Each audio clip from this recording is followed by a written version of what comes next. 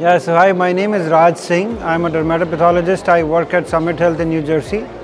I'm also the founder of Path Presenter.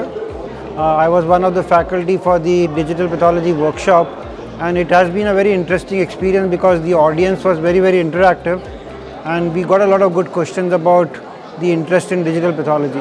Compared to last year when I was here around two years back, there were people standing, so there was not, people had to stand to like, there were so many people in the workshop that some of them were actually standing in the back and so and that tells you the amount of interest that people have in digital pathology currently. So I'm very very happy with all the arrangements that have been done here and all the other speakers it was a, it was fascinating to listen to all the experiences of the other speakers and a, a, a great learning experience.